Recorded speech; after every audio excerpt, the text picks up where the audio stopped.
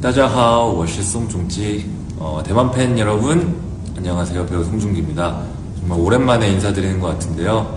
한 대만은 4년 전에 직접 인사드렸던 것 같은데 어, 오랜만에 여러분들께 직접 인사드릴 수 있는 기회가 생긴 것 같습니다. 어, 대만에서 팬미팅을 준비 중인데요. 어, 여러분들과 즐거운 시간 보낼 수 있도록 많은 거 준비하고 있으니까 어, 많이 찾아와 주셔서 행복한 시간 함께 했으면 좋겠습니다. 그럼 저는 4년 만에 여러분들께 대만에 직접 인사드리도록 하겠습니다. 여러분 많이 기다려주세요. 와이님은